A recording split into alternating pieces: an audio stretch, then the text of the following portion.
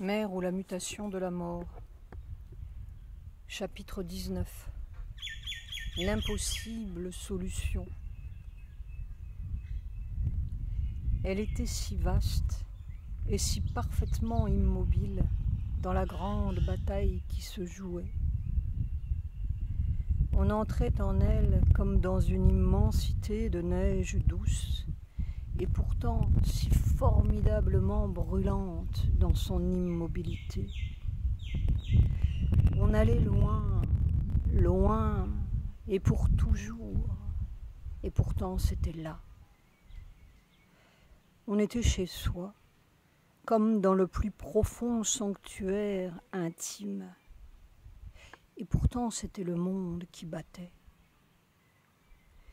On baignait dans l'amour, et c'était une impitoyable guerre, dans le silence parfait, comme en dehors de toutes les guerres, comme si elles étaient gagnées depuis toujours.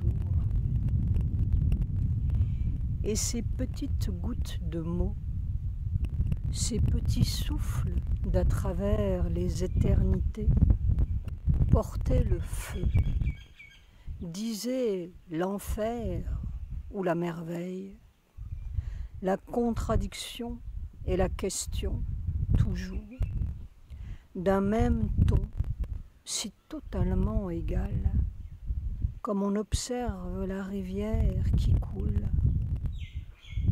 Ici, ça tourne à droite, là, ça tourne à gauche. C'était la vérité transparente sans teinte, sans frisson, pur, sans personne. Et pourtant, c'était elle. Et plus tendrement elle quand elle riait.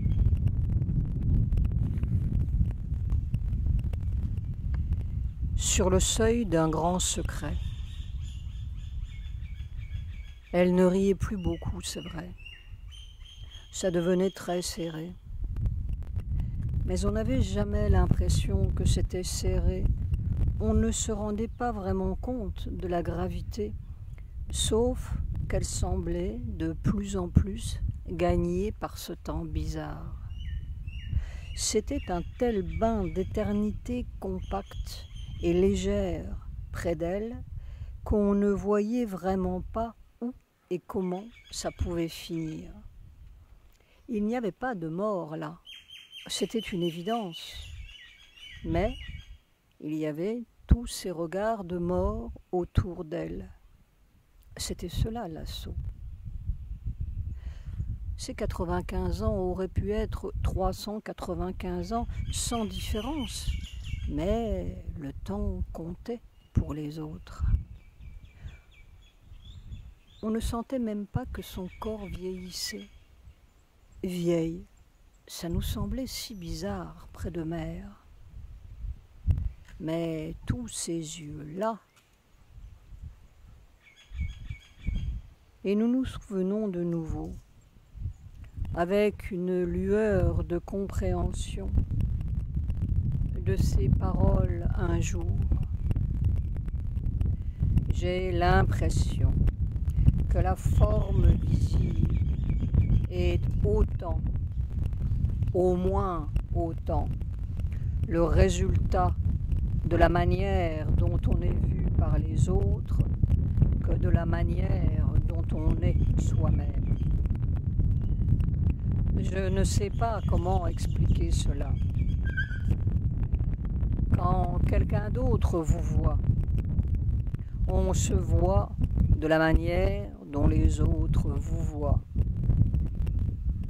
Mais il y a une manière d'être qui est produite par la vraie conscience, qui est sentie d'une façon tout à fait concrète, mais qui est comme pas positivement en contradiction, mais tout à fait différente de la manière dont les autres vous voient. Et c'est pour cela qu'il y a quelque chose à trouver pour que ce soit indépendant de l'influence de tout le monde. Peut-être ne saurons-nous jamais à quel point la matière, la matière corporelle, est miraculeusement souple et fluide, mais comme figée, hypnotisée par une habitude. Vraiment, le monde est complètement déformé. La matière est complètement déformée. Elle peut être miraculeusement autre, autrement, si on sort du bain, si on voit autrement, si on est autrement. Mère était vue vieille. Elle était vue mourante. C'est cela l'affreuse histoire. Et ce n'est pas pour elle qu'elle luttait, c'était pour dégager un coin de matière de cet abominable hypnotisme. Oh, comme il croit en la mort. La puissance de la mort, c'est qu'ils veulent tous mourir, s'écriait-elle un jour.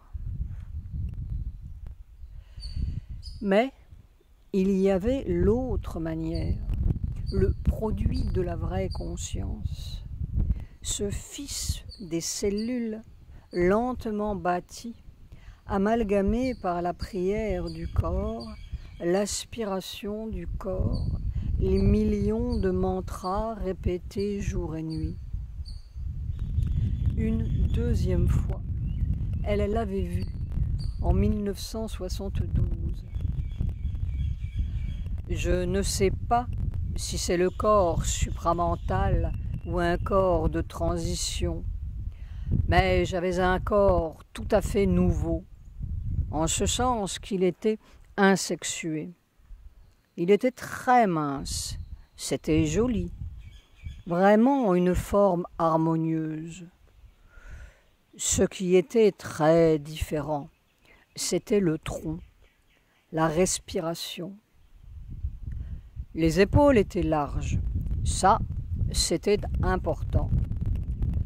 Seulement, la poitrine n'était ni masculine ni féminine.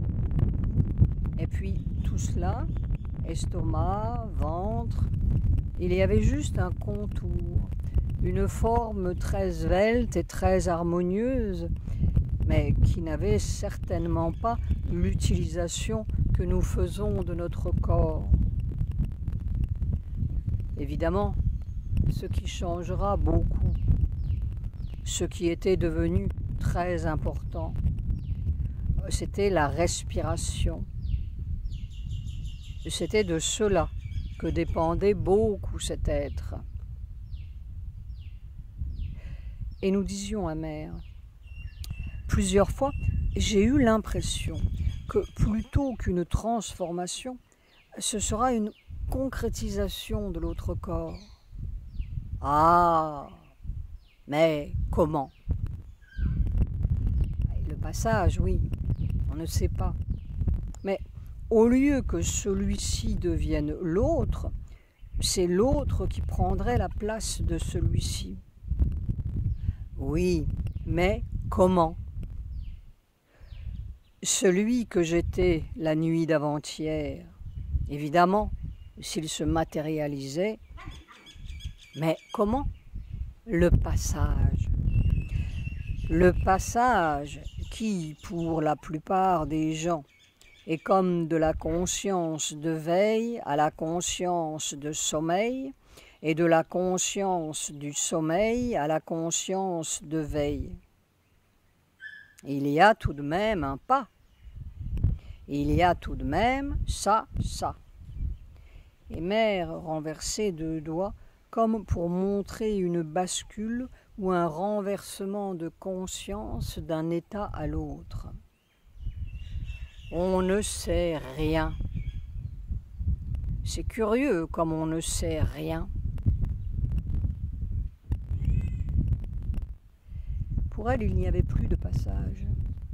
Il n'y avait plus de côté du sommeil et de côté de l'éveil de côté de mort et de côté des vivants soi-disant. C'était tout un. C'était sa vie bizarre, paradoxale comme dans deux mondes, qui pour nous sont deux mondes, pour notre vision déformée dans la cage. Elle bâtissait cette survie où il n'y a plus de côté. Je vois beaucoup de scènes de la nature, comme des champs, des jardins, mais tout derrière des filets, nous disait-elle en riant. Et ce filet, c'était tellement visiblement, manifestement symboliquement, cette trame qui nous sépare de l'autre côté, entre guillemets. Nous pouvions presque les voir quand mer parlait. Nous voyions comme des filets de sardiniers légers qui flottent dans le vent entre elles et une vraie terre si souriante. Il y a un filet d'une couleur, d'une autre couleur, et ça a un sens tout, tout, tout est derrière un filet. On est comme, comme si on se mouvait avec des filets. Mais ce n'est pas un seul filet, ça dépend. Le filet dépend dans sa forme et dans sa couleur de ce qui est derrière. Et c'est le moyen de communication. Tu comprends? Heureusement que je ne parle pas parce que on dirait que je déménage. Et ça, les yeux ouverts, dans la journée, tu imagines. Alors, je vois par exemple ma chambre, je suis ici, je vois les visiteurs, et en même temps, je vois un paysage ou un autre et ça change et ça bouge et avec un filet comme ça entre moi et les paysages. Tout cela c'est très joli et on conçoit très bien le mode de la survie sans filet. Mais en attendant, c'est un énorme écran avec un corps peut-être très svelte dans la vraie matière, mais un autre qui est très mal vu dans celle-ci et que l'on force à la décomposition. Alors, oui, alors, le jour où l'écran tombera, ce sera très bien, à moins que ce ne soit un autre genre de catastrophe. Mais nous avons l'impression, justement, que pour qu'il tombe, il faut que la matière présente s'ouvre, fraye le passage dans sa propre chair, s'extirpe de cette espèce de fixité de plomb ou de son hypnotisme général. C'était exactement ce qui était en train de se passer douloureusement dans le corps de mère, au milieu de la formidable négation collective. Cette espèce de vieux machin, comme elle disait de son corps, c'était le lieu de l'expérience. On pourrait dire le lieu du passage. Si ça ne passait pas là, ça passerait par quel autre interstice de la matière générale? Il ne s'agissait pas de quitter la vieille guenille pour batifoler dans une moins fichue histoire. C'était là que ça se passait, dans ces 95 ans si mal vus. Et si personne n'en voulait autour? Où donc et qui donc en voudrait dans cette damnée matière collective. Le laboratoire était parfaitement représentatif. C'était la bataille du monde. Alors, mère butait sur l'éternel mystère.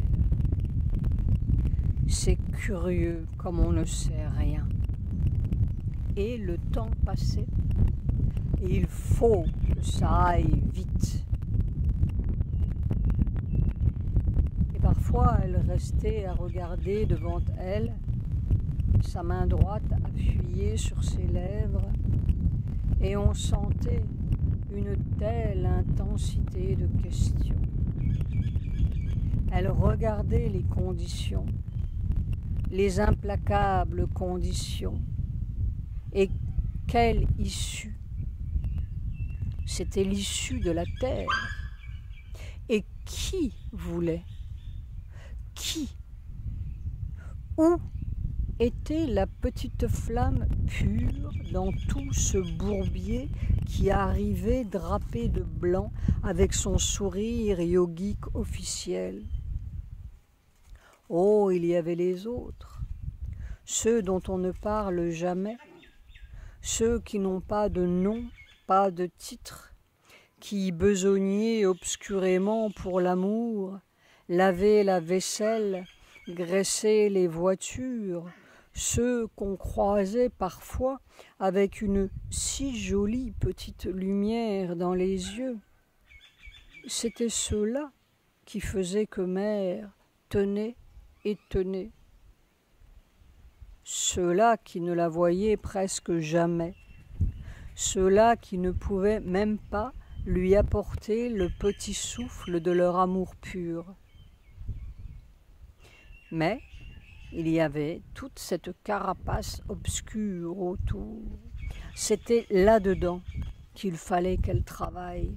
C'était à cette négation qu'il fallait arracher un cri de consentement. Et elle besognait, besognait. Et parfois ça semblait sans espoir. S'il y avait la certitude, si par exemple Sri Aurobindo disait Ça, c'est comme cela. Alors ce serait très facile. Mais ce qui est difficile, n'est-ce pas? On est entouré de gens qui vous croient malade et qui vous traitent comme un malade.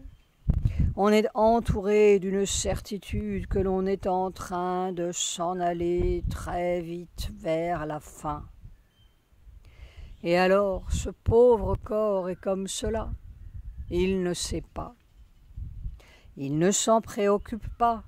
Mais il n'a pas la certitude de comment ça se terminera.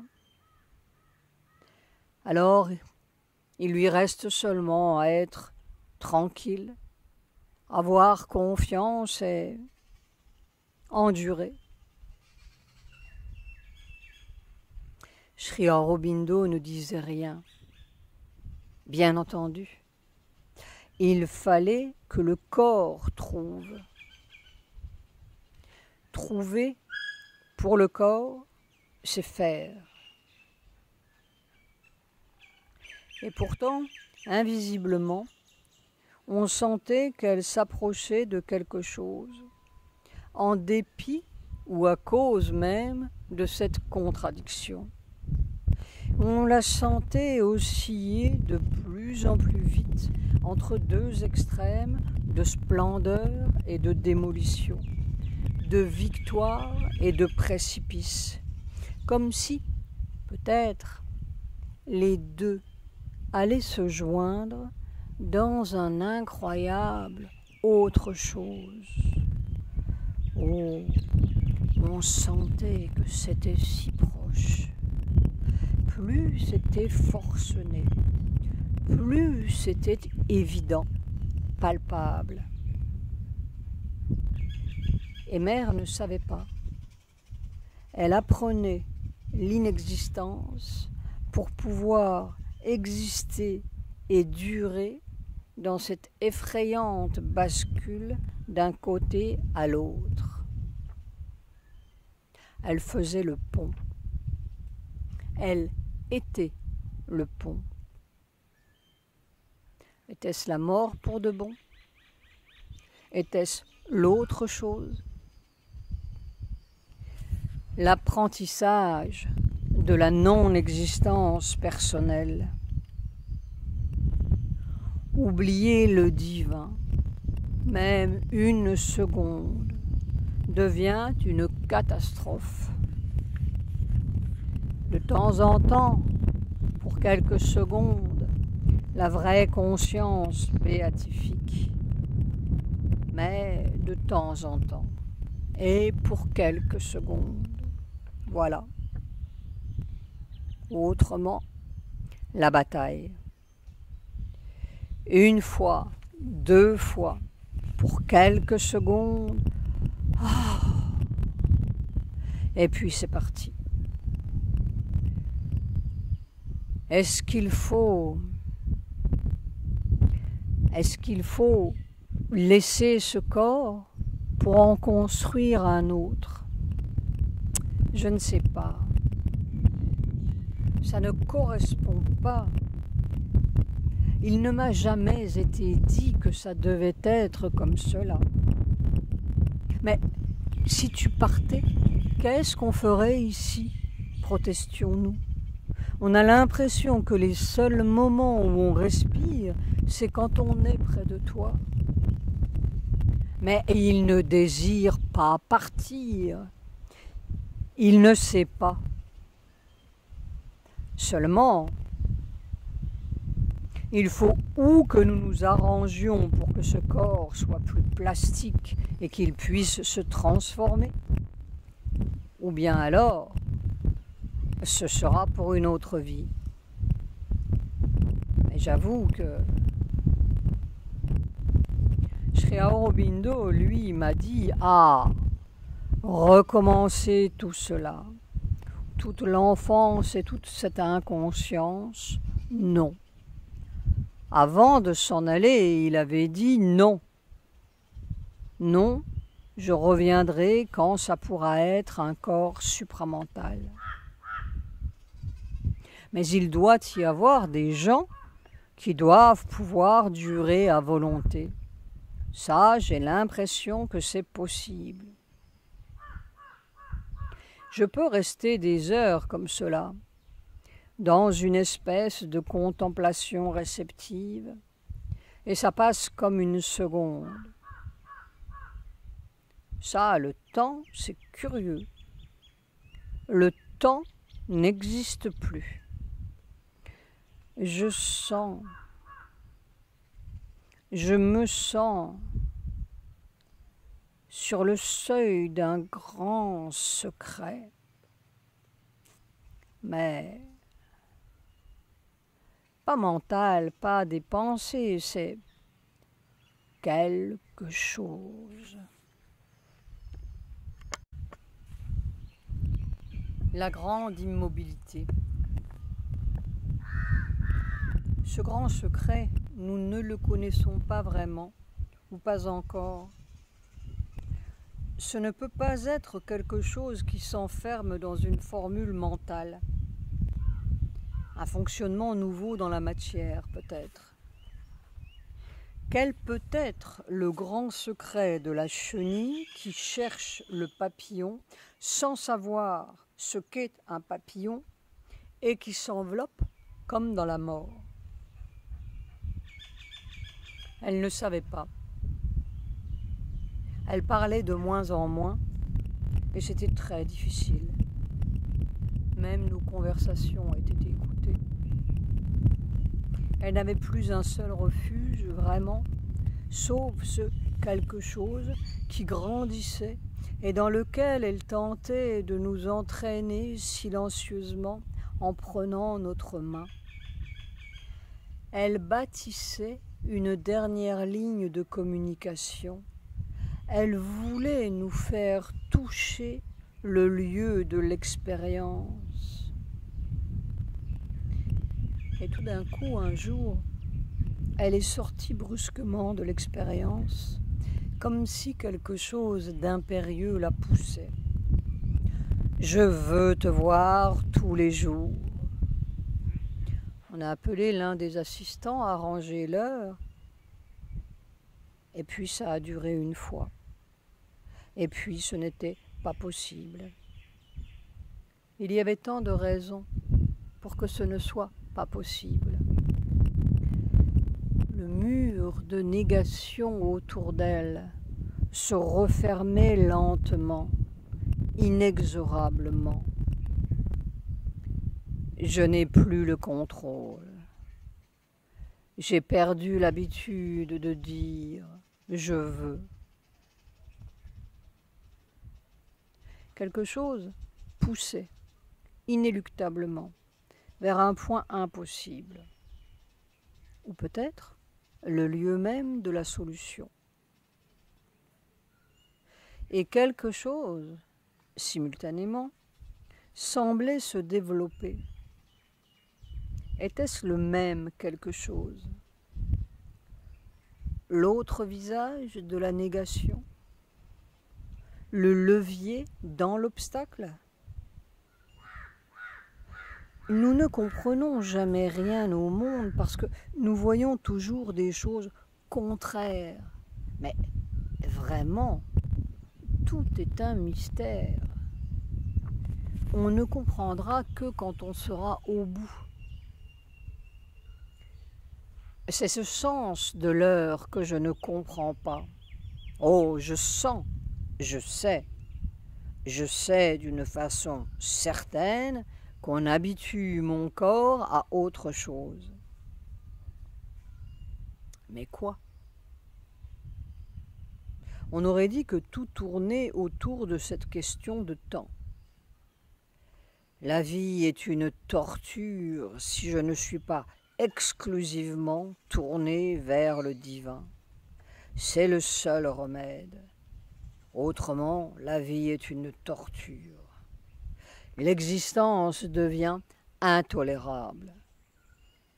Le seul remède est d'être là où le temps n'existe pas.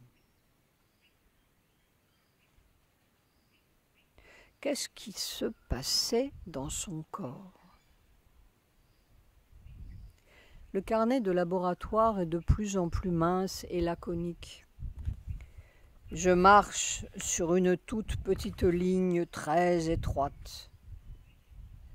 C'était à chaque instant un vertigineux équilibre entre un quelque chose d'indéfinissable, la merveille, disait-elle, peut-être l'état de la prochaine espèce, et puis la mort de la vieille espèce, une sorte de mort vivante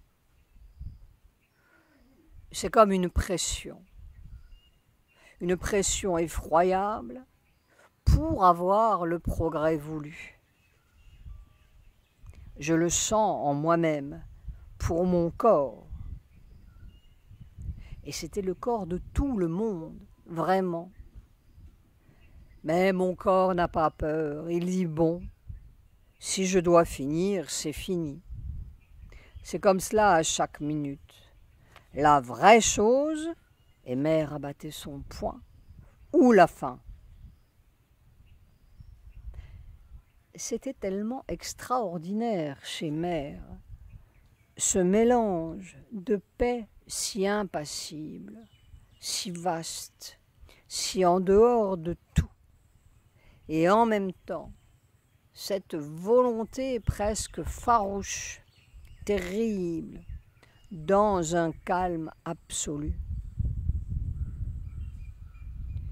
Nous avons vu beaucoup de choses en cette existence, mais quelquefois nous avons eu un frisson chez Mère.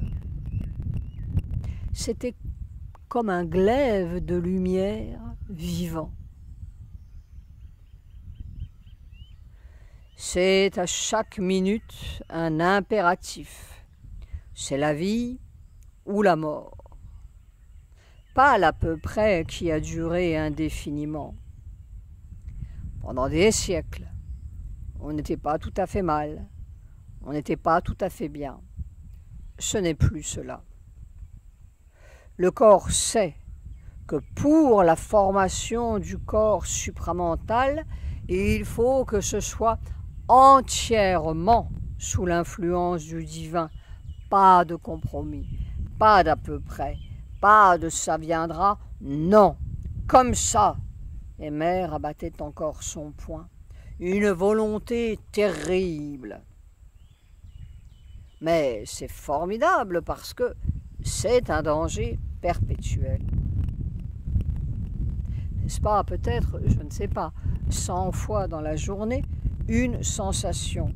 La vie ou, pour les cellules, n'est-ce pas? La vie ou la désintégration. Et on se demande si ce n'était pas la vie et la désintégration. C'était cela l'impossible paradoxe. Et alors, si elles ne se crispent pas, comme elles ont l'habitude de le faire, ça va tout à fait bien. C'est comme si, par une espèce d'obligation, le corps apprenait l'éternité. Toujours nous étions ramenés à cet autre temps, par tous les détours, comme si la clé était là. Puis un dernier coup est venu la frapper. C'était en avril 1973 ce que Mère appelait les transferts. L'une après l'autre, toutes les fonctions, tous les organes avaient changé d'autorité, c'est-à-dire le passage du vieux fonctionnement automatique de la nature au fonctionnement conscient de la grande conscience, le fonctionnement supramental. Ce que Mère et Sri Aurobindo appelaient l'automatisme conscient. Le décrochage des vieilles lois de la nature et l'accrochage à un autre rythme.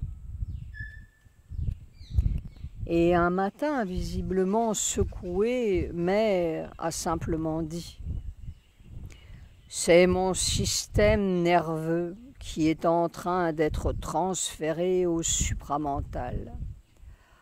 J'ai l'impression, euh, c'est pire que de mourir.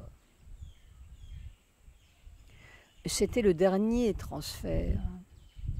C'est-à-dire que plus rien dans son corps n'obéissait à la vieille loi. Peut-être le dernier fil ou l'ultime transition à l'autre état. Et on comprend bien que cela devenait tout à fait insupportable de subir ça vivant, parlant aux gens, signant des chèques, avalant mille poisons de tous les côtés. La chenille fait un cocon pour subir l'opération. Mais je crois que je crois que je peux transmettre la vibration divine. Alors, si tu veux rester là, et Mère prenait notre main pour nous entraîner dans l'expérience. Peut-être voulait-elle que nous touchions la clé aussi. Mais quand on est tout près de toi, nous exclamions-nous, c'est un torrent on a l'impression d'un feu de purification, de ça vous élargit, ça vous emplit, c'est ça. C'est depuis que tu es apparemment impuissante que j'ai commencé à sentir. Écoute, nous interrompait-elle, j'ai accepté. Le Seigneur m'a demandé si je voulais undergo the transformation subir la transformation. J'ai dit oui. J'aurais dit oui de toute façon. Mais c'est... Pour la conscience humaine, je suis en train de devenir folle. Et en même temps, en même temps, il y avait un phénomène si bizarre, si nouveau, qui commençait à se manifester dans son corps. Peut-être était-ce vraiment l'inconnu dangereux, dangereux parce qu'on ne sait pas ce que c'est, parce que c'est nouveau. Est-ce qu'une chenille ne trouverait pas dangereux l'état de papillon? Heureusement qu'elle ne sait rien. Mais mère comptait tous les moments. C'est tellement différent que l'on se demande. Je me demande parfois comment c'est possible. Il y a des fois où c'est tellement nouveau et inattendu, c'est presque douloureux. Qu'est-ce qui se passait? Nous aurions tellement voulu comprendre, sentir. Or, cet inattendu se développait, grandissait inexplicablement. C'était visible, il y avait comme une accélération. Vers quoi? Et un matin d'avril 73, tandis que nous étions plongés avec elle dans l'expérience depuis une demi-heure peut-être, elle a soudain ouvert les yeux pourquoi ai-je envie de hurler? Nous étions tellement sidérés. Puis aussitôt nous avons pensé que peut-être nous apportions quelques poisons avec nous. Oh, on est tellement plein de petites misères obscures. Eh bien, je me demande si ce n'est pas moi qui te fais mal. Non, mon petit, je suis tout le temps comme cela. Pas du tout toi. C'est quelque chose. Ce n'est pas douloureux du tout, mais c'est quelque chose. Et elle restait à regarder devant elle vers le grand flamboyant jaune ce quelque chose qui faisait hurler et qui n'était pas douloureux. Moi, je crois je crois que c'est quelque chose de si nouveau que le corps est effrayé. Je ne vois que cette raison.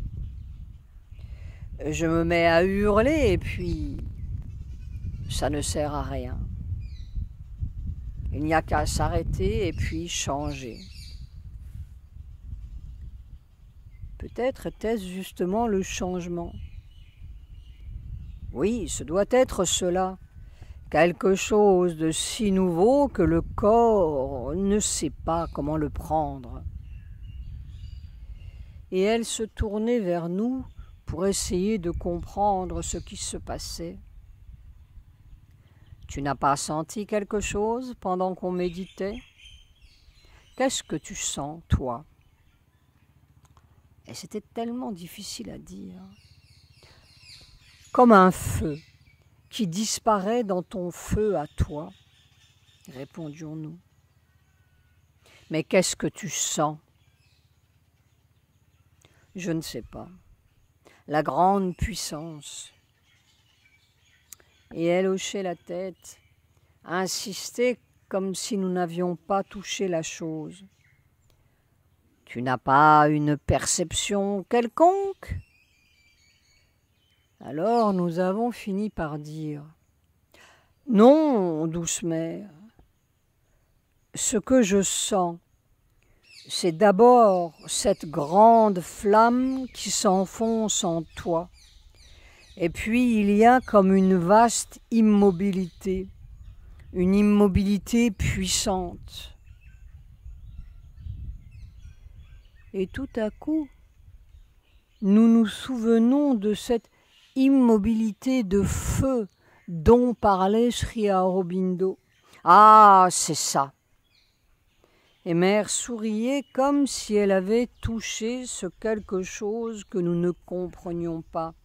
Ah, ce doit être ça. Oui, le corps doit prendre peur. Oui, ce doit être ça. Et qu'est-ce que c'était que ça? Nous, vers la fin de la méditation, après ce torrent de puissance qui semblait à la fois nous triturer et nous engloutir, nous sentions presque chaque fois cette même chose, comme après un cataclysme. Quelque chose qui s'étendait, s'étendait, s'immobilisait, rien ne bougeait plus, pas un souffle, comme si le corps ne respirait plus ou respirait sans respirer, immobile, une immobilité compacte, brûlante et pourtant sans poids. Tout s'arrête. Tout était arrêté. Note de bas de page. Notons bien que cette immobilité-là n'a rien à voir avec celle que l'on trouve à l'autre extrémité, lorsque la conscience se dissout là-haut dans les pâleurs supracosmiques et que le corps s'enfonce dans une transe d'oubli. Non, ici, dans cette immobilité physique, ou plutôt physiologique, c'est toute la trépidation corporelle qui est arrêtée, mais dans une sorte de superacuité de perception qui est le contraire d'un sommeil ou d'une transe. On perçoit tout, les gens, les choses, les pendules, les pensées, les plus microscopiques vibrations, et très loin autour, dans une sorte de prolongement physique où l'on se soucie ou ne se soucie pas de savoir ce qui est là, mais en fait, on percevrait très bien le tic-tac d'une pendule à New York comme à côté. On est en plein dans la matière, mais une matière complète. Oui, peut-être cette éternité du corps. Mais pour elle, qu'est-ce que c'était? Pour son corps, nous ne sentions qu'un reflet, un infime reflet de ce qu'elle sentait. Alors, et elle disait, c'est ça, ce doit être ça. une immobilité comme de la mort, sentie comme une mort par le corps, mais une mort qui serait vivante. Les mots sont absurdes, mais quelque chose, un état qui est évidemment complètement en dehors de la vie, du souffle de vie, et qui pourtant respire, pourtant n'est pas la mort une autre respiration, si nouvelle. La mort de la vieille espèce, du vieux souffle, la naissance de de quoi? Et c'est comme une vraie mort.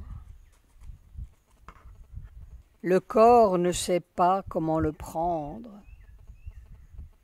Il a envie de hurler et ce n'est pas douloureux. Est-ce que c'est ça vraiment la transformation? Le passage Le temps zéro Évidemment, on, ne peut pas être un papillon en restant une chenille. Mais comment est-ce possible, les yeux grands ouverts, avec cinquante personnes à la porte et quelques autres là à guetter? Est-ce qu'on peut devenir l'autre chose dans le vieux corps Comment se fait le passage physiologique? Elle était visiblement juste au seuil de l'inconnu, du grand secret. Et la seule réponse était cette immobilité dans un autre temps la grande immobilité. Était-ce la mort? Était-ce la vie? Était-ce la transformation ou la désintégration? C'est presque le même procédé, disait-elle autrefois. C'est comme pour vous montrer que pour vaincre la mort, il faut être prêt à passer par la mort. Alors,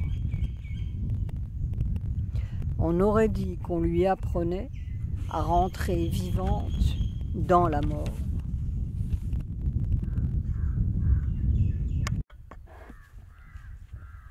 Comme dans un œuf. Où conduisait tout cela? Nous comprenions bien que c'était une question de temps et de patience. Avec le temps, tout changerait, avait-elle dit. Il n'y avait aucune raison de passer par la mort, pensions-nous, sauf peut-être dans une expérience radicale qui durerait quelques jours ou quelques semaines, et puis tout serait changé. Nous sentions que cette immobilité sans temps était comme la condition de laboratoire pour que le fond de la substance puisse changer. Cette vibration infinitésimale dans la matière, ce mouvement intra-atomique qui est le premier durcissement, la coagulation de l'écran, c'était le côté manquant de l'atome. Celui qui avait le pouvoir de modifier le mouvement en le gelant dans sa foudroyante immobilité. Nous n'en savions rien vraiment, et mère non plus. N'est-ce pas? Nous n'avons pas la connaissance, pas la moindre connaissance de ce qu'est la vie supramentale. Par conséquent, nous ne savons pas si ça, et mère pinçait la peau de ses mains, ça peut changer suffisamment pour s'adapter ou non. Et à dire vrai, il n'y a pas d'anxiété. C'est un problème qui ne m'occupe pas beaucoup. Et nous regardions mère sans comprendre. Parce que le problème qui m'occupe, c'est de bâtir cette conscience supramentale de façon que ce soit elle qui soit l'être. C'est cette conscience-là qui doit devenir l'être. Et alors ça, c'est important. Le reste, on verra. C'est comme si l'on se préoccupait s'il faut changer de vêtements ou pas. C'est l'équivalent. Et nous ne comprenions pas du tout. Et pour cela, toute la conscience qui est dans les cellules doit se grouper, s'organiser et former un être conscient indépendant la conscience qui est dans les cellules doit se grouper et s'organiser et former un être conscient qui peut être conscient de la matière et en même temps conscient du supramental. C'est cela. C'est cela qui est en train de se faire. Jusqu'où ça pourra aller je ne sais pas. Mais nous restions obnubilés par cette apparence, ce vêtement, comme si c'était la chose la plus difficile à changer, à transformer. Et au contraire, chaque fois, Mère semblait voir cela comme une ultime conséquence sans la moindre difficulté. À la fin, ce n'est rien un souffle et ça y sera. C'est le reste qui est difficile. Or, ce fils des cellules, ce corps nouveau formé avec toute la conscience amalgamée des cellules, Nous savions bien qu'il était là, déjà formé. Et c'était cela qui vraiment préoccupait Mère, qu'il devienne un être indépendant, c'est-à-dire indépendant du corps, et capable d'être conscient simultanément de notre vieux monde matériel et du monde de la vraie matière, le monde supramental. Qu'est-ce que cela voulait dire? Si ce vieux vêtement est tout de même le lieu de l'ultime transformation, l'endroit où l'écran tombe, le pont avec la vraie matière. Quel est le rôle de ce corps cellulaire par rapport au vieux corps? Qu'est-ce qui ouvrira la porte de l'autre matière, sinon la vieille matière elle-même? Qu'est-ce qui fera transfuser l'autre substance, sinon la vieille substance. Le monde supramental ne va pas tomber du ciel ou briser les portes de la vieille matière sans quelque chose de ce côté-ci qui se prête au procédé. Il faut un corps qui le reçoive, un endroit où ça puisse passer. Non à moins que l'écran s'use partout à la fois. L'obscurité dégorge partout à la fois. La couche de carbone s'asphyxie elle-même si radicalement et si insupportablement que tout d'un coup, ça traversera par tous les pores de notre désespoir. Peut-être est-ce comme cela que ça se passera. Il y aura un miracle, disait-elle. Mais en attendant ce dernier souffle, et ça y sera, il y a cette transition, ce temps à gagner. Et quel est le rôle de ce corps cellulaire qui semblait le problème numéro un pour Mère? Ce corps qui devait devenir l'être, c'est-à-dire en quelque sorte prendre la place ou la relève du vieux corps.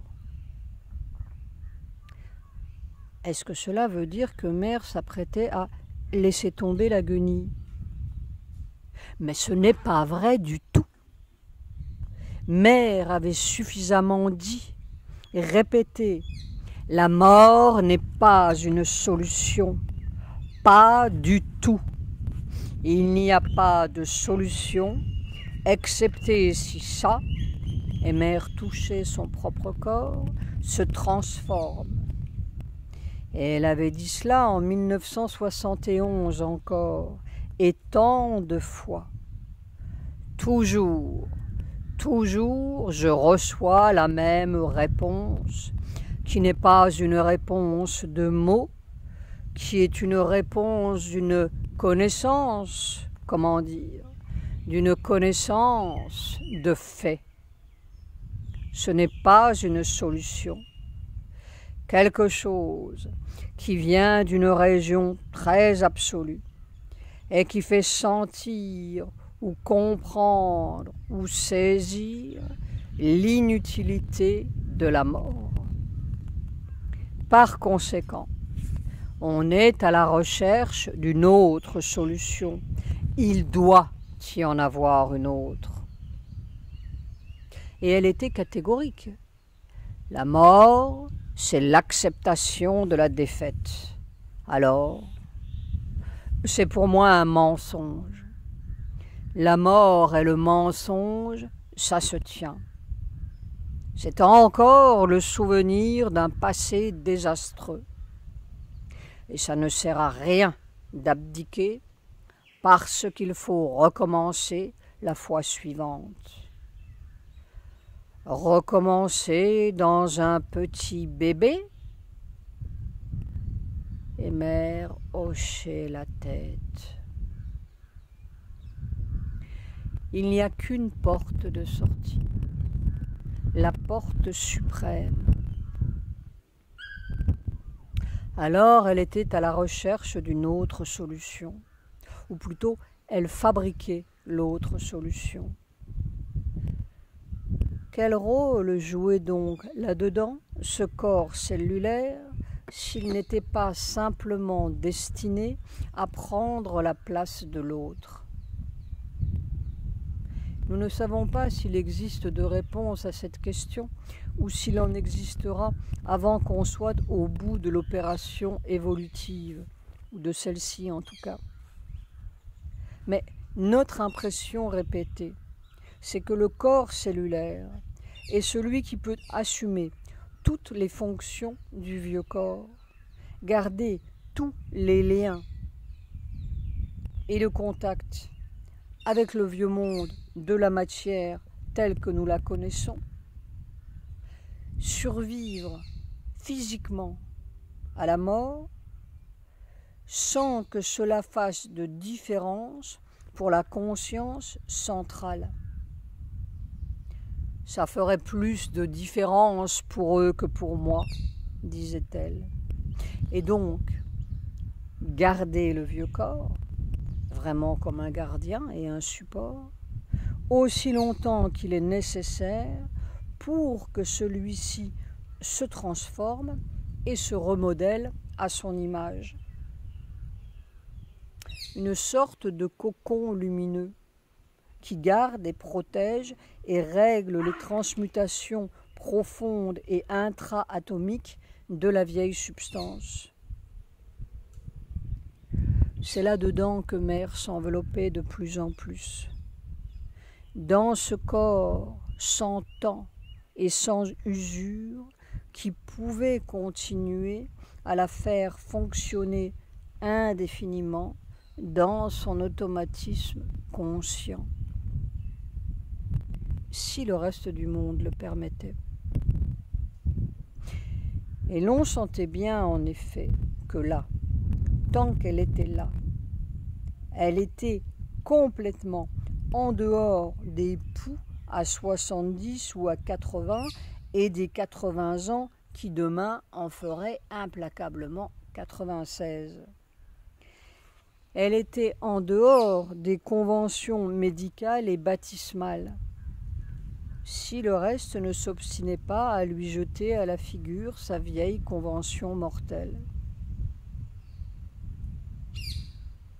Un être indépendant, une petite vibration dorée qui se répète et se répète au fond des cellules et se répétera jusqu'à ce que l'opération soit faite jusqu'à ce que l'invasion dorée se soit produite en tout point du vieux corps. C'était une question de temps et de patience. J'ai l'impression, disait-elle encore en 1972 dans cette même conversation où elle nous expliquait sa préoccupation première de former un corps indépendant, que si je dure jusqu'à mes cent ans, c'est-à-dire encore six ans, beaucoup sera fait, beaucoup, que quelque chose d'important et de décisif sera fait. Et en 1972 encore, un jour, elle nous a fait cette remarque si révélatrice, et d'autant plus révélatrice que cela venait à propos du mental des cellules. C'est seulement quand le supramental se manifeste dans le mental corporel que sa présence est permanente disait-elle. Et comme nous ne comprenions pas ce qu'il fallait faire, entre guillemets, nous avons toujours l'impression qu'il faut faire. Pour engrainer le mantra dans les cellules du corps, c'est-à-dire fixer le supramental dans le corps. Mère nous a répondu Je ne sais pas ce qu'il faut faire parce que c'est spontané. Peut-être est-ce cela le moyen. Une contemplation du divin. L'état naturel, c'est cela. Vraiment. Je crois que c'est la sensation de l'impuissance d'un bébé. Tu comprends C'est même curieux. La sensation du corps c'est d'être tout enveloppé, comme un bébé dans ses langes, vraiment comme cela. Il y a deux ou trois jours, il y a eu quelque chose qui pressait sur mon cœur. Ça fait mal. Ça fait mal. J'avais vraiment l'impression que... Le corps a eu l'impression que c'était fini. Et alors, tout de suite, je me suis senti comme enveloppé, comme un bébé dans les bras du divin. Et alors, au bout d'un moment, mais c'était long, quand il a été uniquement dans la présence, c'est parti. Il n'a même pas demandé que ça s'en aille. C'est parti tout à fait l'impression d'un bébé et enveloppé dans les bras du divin. Extraordinaire.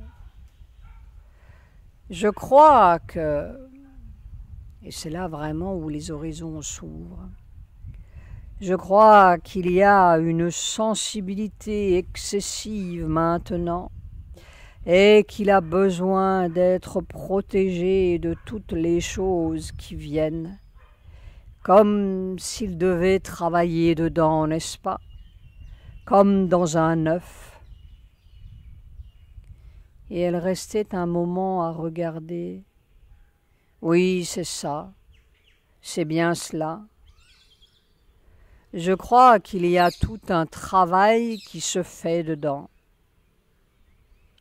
Oh. De l'ancienne manière, il est de plus en plus stupide.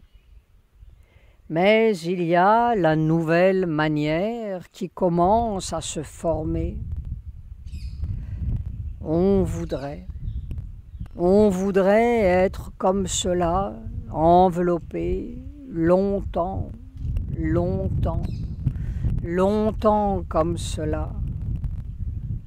Ça vient, il faut être patient. Comme dans un œuf. Et la conscience matérielle répète Om Namo Bhagavate.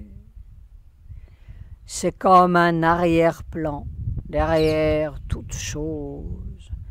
Om Namo Bhagavate tu sais, un arrière-plan qui est un support matériel. Om Namo Bhagavate.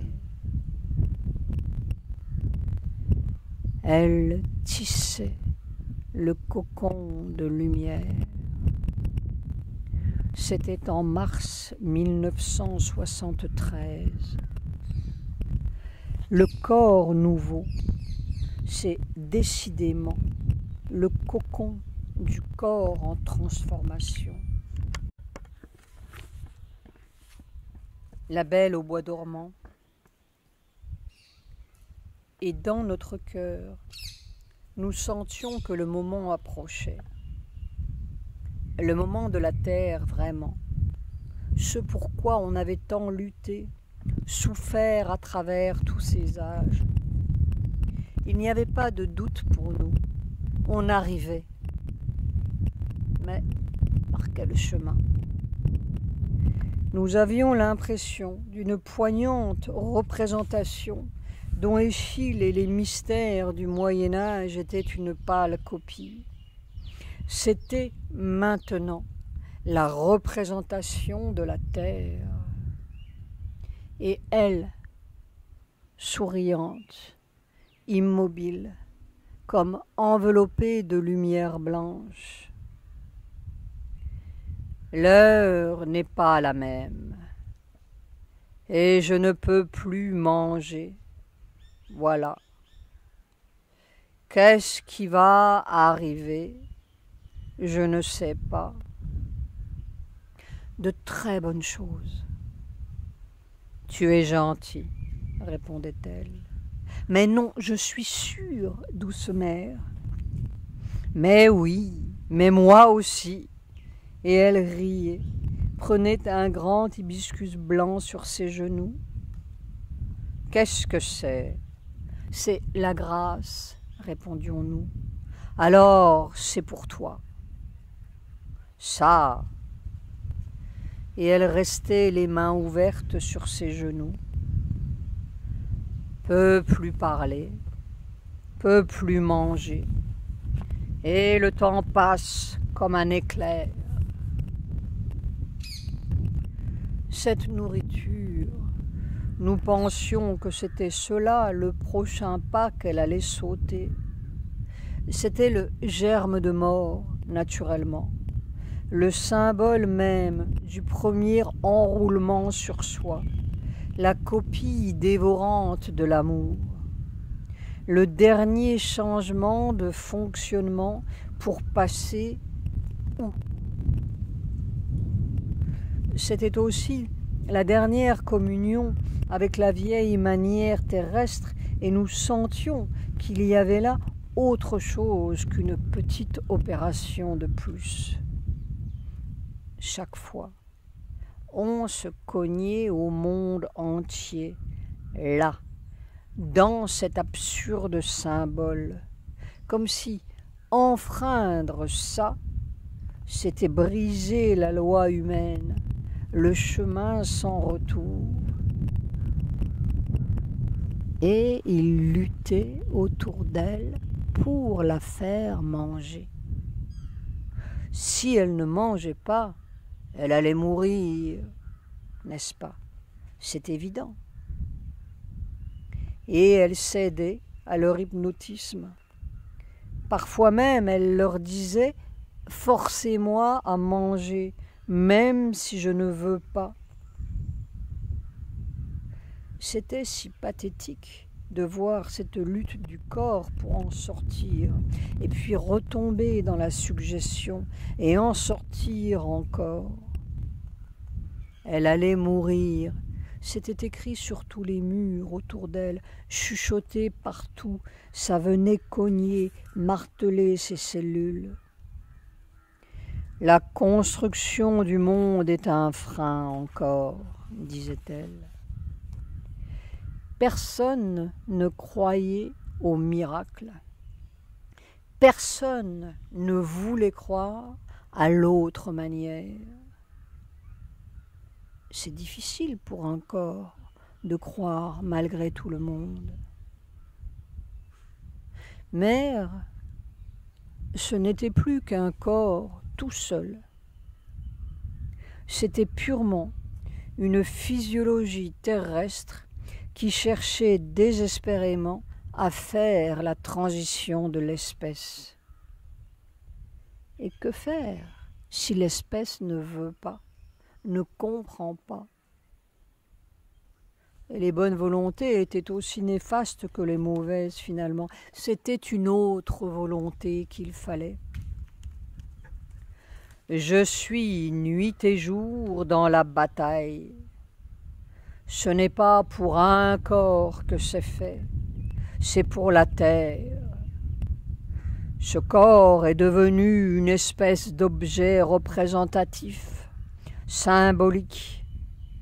C'est le champ de bataille, c'est le champ de victoire, c'est la défaite, c'est le triomphe, c'est tout. Enfreindre la loi tout seul. on sentait que ce pas-là cachait quelque chose de très radical. Il fallait un changement radical dans la conscience terrestre, dans ce petit laboratoire autour d'elle. L'heure allait-elle passer? Et parfois on la gorgeait tant de défaites et d'impossibilités et de négations que son corps ne savait plus. Est-ce qu'il n'était pas fou tout seul, là, à lutter contre tous ces savants de la terre, ces petits axolotls irréfutables? Je ne sais pas. Je ne sais pas ce qui arrivera. Il y a des moments où ça devient si difficile que je me demande si le corps pourra tenir le coup. Mais je voudrais. Oh Je ne t'ai pas dit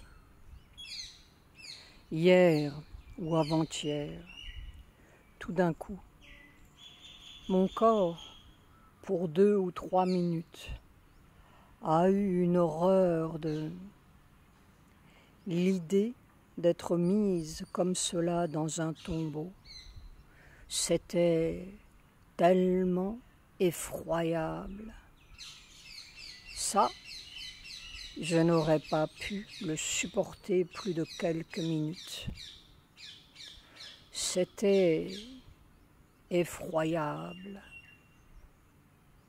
Et ce n'est pas parce qu'on m'enterrait vivante c'est que mon corps était conscient. Il était mort, au dire des gens, parce que le cœur ne battait pas, ne battait plus, et il était conscient. Ça, c'était une expérience effroyable je donnais tous les signes de la mort, c'est-à-dire que le cœur ne marchait plus, rien ne marchait, et j'étais consciente. Il était conscient. Il faudrait il faudrait prévenir qu'on ne se dépêche pas de s'il est l'heure de se transformer, si mon corps devient froid, qu'on ne se dépêche pas de le mettre dans le trou, parce que ça peut être, ça peut être passager. Tu comprends? Ça peut être momentané. Tu comprends? Tu comprends ce que je veux dire? Oh, nous comprenions si bien. Et ce jour-là, nous nous sommes souvenus d'une question que nous avions posée à Mère quelques années plus tôt. Nous voulions savoir si l'on pouvait avoir l'expérience de la mort sans mourir. C'est sûr, disait-elle. On peut avoir yogiquement l'expérience. On peut même avoir matériellement si. Et elle riait tellement. Si la mort est assez courte pour que les docteurs n'aient pas le temps de vous déclarer mort. Alors nous voyons le tableau et s'il la déclare morte? Oh, c'est cela, n'est-ce pas? Il faut, il faut qu'on meure. C'est la loi terrestre, c'est comme ça. Ne soyez donc pas bêtes. Elle voyait le tableau aussi.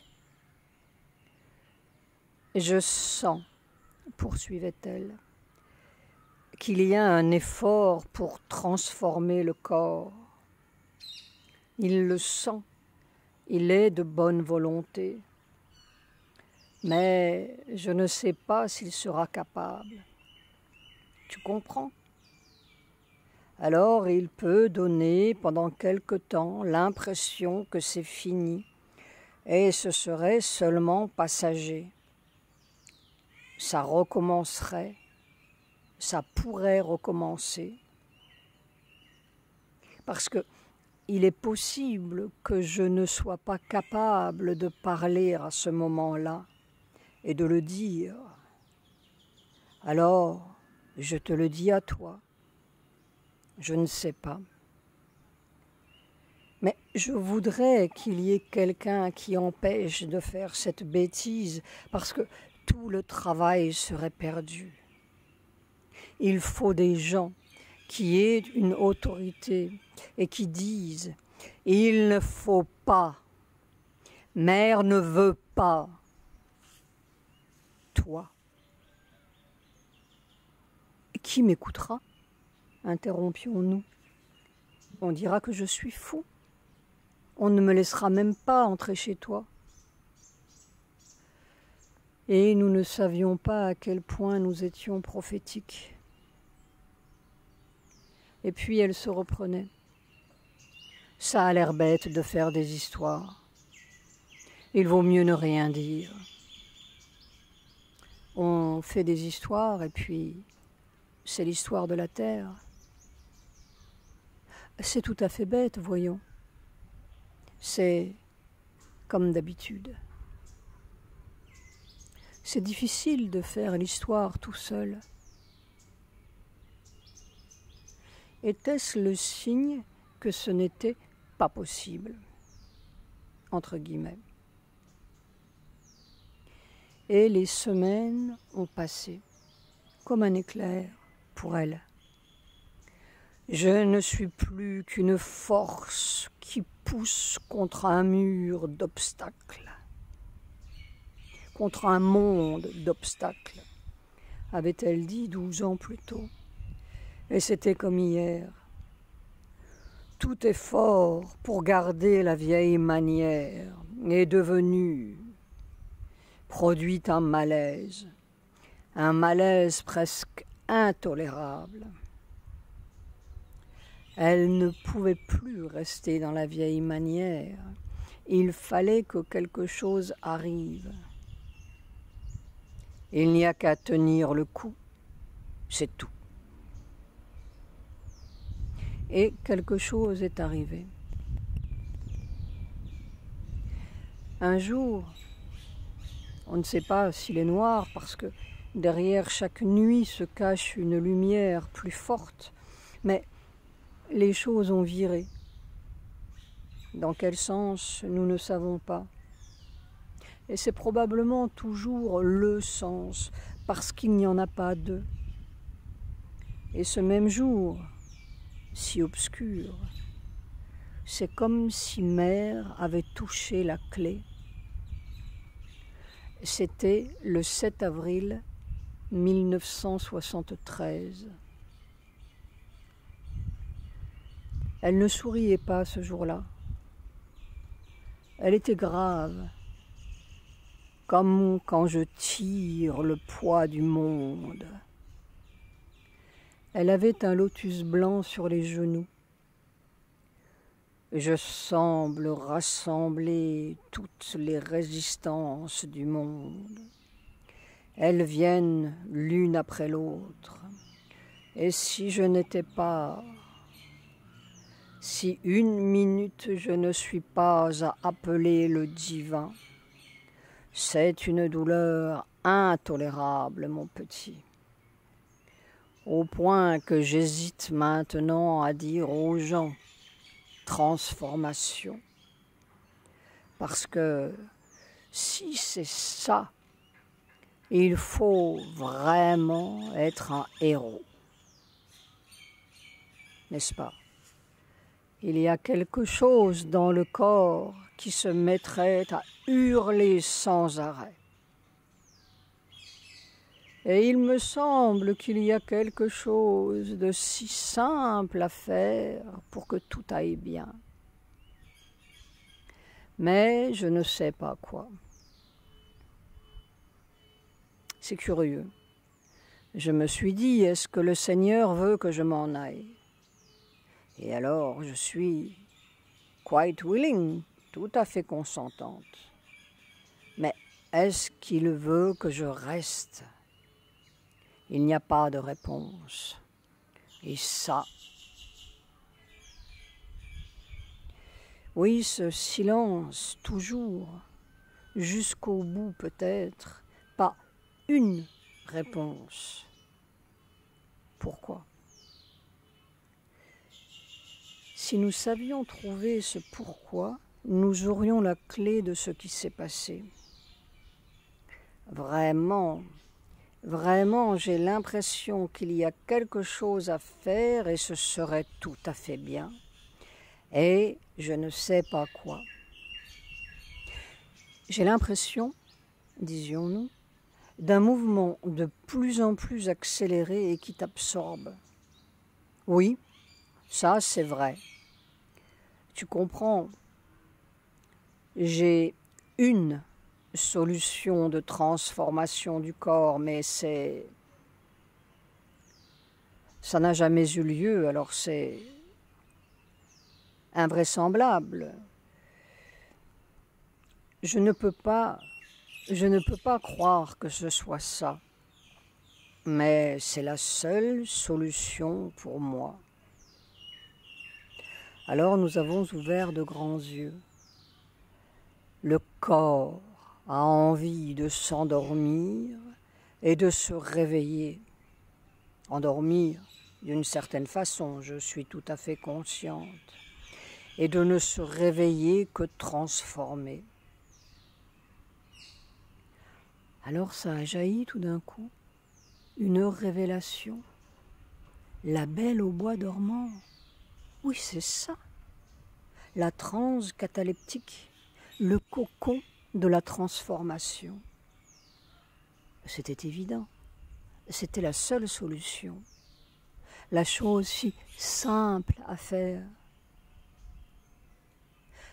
Et puis elle s'est reprise tout de suite. Mais jamais les gens n'auront la patience qu'il faut de soutenir ça, de prendre soin. C'est un travail colossal, un travail d'Hercule. Ils sont gentils, mais ils font le maximum. Et alors, je ne peux pas leur demander davantage. C'est cela la chose. C'est la seule chose à laquelle la conscience dise oui, c'est ça. Mais qui? Qui Demander aux gens qui prennent soin de moi, c'est presque impossible. On comprendra. Quelques-uns comprendront en tout cas, répondions-nous innocemment. Mais je ne peux pas le leur dire. Je peux leur dire, répliquions-nous stupidement. Est-ce qu'ils te croiront? Et nous étions tout confondus. C'était si simple pour nous. Peut-être, reprenait Mère, tu pourrais leur expliquer devant moi, tout à l'heure. Puis elle a fermé les yeux plongée dans l'expérience en nous emmenant dans cette si étrange immobilité puissante. Et c'est là tout d'un coup qu'elle est sortie de son état. Je veux te voir tous les jours. Ce jour-là n'a duré qu'une fois. Puis c'était l'heure. Ils sont arrivés et le cœur nous fend L'un des échantillons s'est approché, l'un des gardiens. Ce fut l'explosion instantanée. Trente ans de soupape qui lâchaient. Oh, nous ne redirons pas, nous ne pouvons pas redire cet affreux monologue, ce déferlement de colère. Et elle, si blanche, immobile. Oh, personne n'est à accuser. Ce n'était pas une personne qui était là. Et nous ne savons pas si un seul être sur Terre aurait tenu l'épreuve de cette formidable pression jour après jour. C'était la Terre qui disait non. C'était les conditions du laboratoire. C'était là-dedans qu'elle devait travailler. Il n'y a pas de bon, de mauvais. C'était les échantillons de l'entreprise terrestre. Ce qui est plus proche du centre de descente, ça bouleverse beaucoup, disait-elle neuf ans plus tôt déjà. Mais les faits sont là, nous ne pouvons pas les supprimer de l'histoire. Elle a essayé de parler. J'ai du mal à parler. Ne parlez pas, mère. Je voudrais vous expliquer. Ça ne m'intéresse pas. Parce que il y a un essai pour transformer le corps. Quand ça viendra, on verra. But you don't want to know? Mais vous ne voulez pas savoir? demandait Mère de sa petite voix d'enfant. No, I don't want. Non, je ne veux pas. Ah, c'était cela. Ce jour-là, le destin était scellé. La solution était là et l'impossibilité de la solution. Elle ne pouvait plus continuer. On lui fermait la seule porte. Elle ne pouvait plus se transformer sans aplatir tout ce qui résistait autour, comme Sri Aurobindo. Restait le trou. Et pourtant, pourtant, nous sentions, nous savions que dans cette impossibilité même se cachait l'ultime solution, celle que personne n'avait prévue, la raison même pour laquelle on ne lui disait rien, le dernier chemin de la victoire inéluctable. Il n'y a pas de non nulle part. Il y a un suprême oui partout et toujours, qui suit ses voies imprescriptibles par tous les noms, par tous les refus, par tous les bons, tous les mauvais, les violents, les pacifiques, et chacun fait exactement ce qu'il faut, sans savoir. Humainement, nous avons de la peine. Oh. Nous nous lamentons nous nous laissons aller à une explosion de colère ou à une explosion de réprobation. Et c'est la même chose, c'est tout pareil. Nous n'y comprenons rien.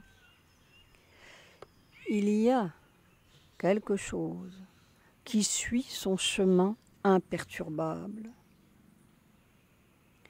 Dans l'ultime négation se cache la porte suprême.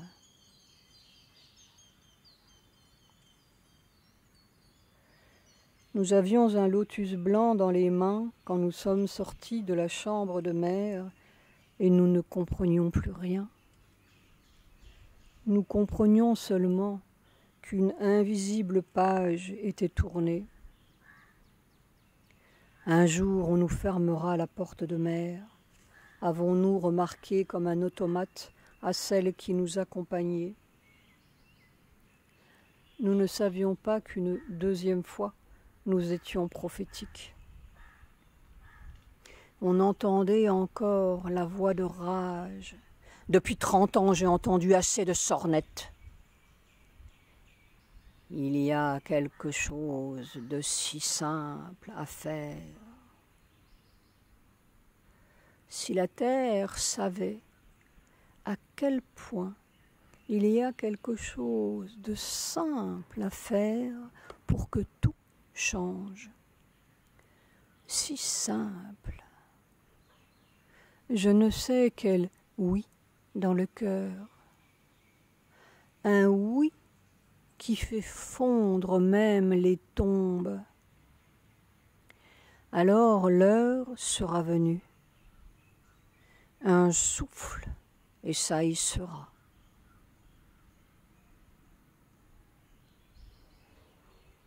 Mère avait encore sept mois. Le dernier chemin. Pour une belle au bois dormant, il faut un prince charmant.